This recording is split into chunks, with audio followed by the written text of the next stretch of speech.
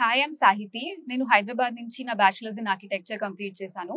I'm from Hyderabad I hold a bachelors in architecture and have experience experience of over five years I'm currently pursuing my masters in planning in urban infrastructure at CEPT My shift from architecture to planning with the last two years at CEPT has been quite a journey. The transition has benefited me both professionally and personally, where I understood the complexities of real world problems through the lens of a planner.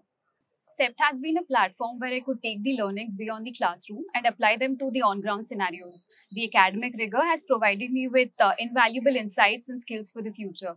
The guidance and active involvement of the faculty members has helped me stay motivated and inspired.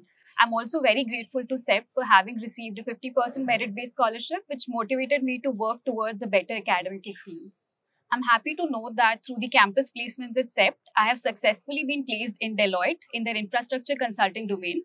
This achievement would not have been possible without the support of the placement team, faculty mentors, peers, and strong network of CEPT alumni we have here.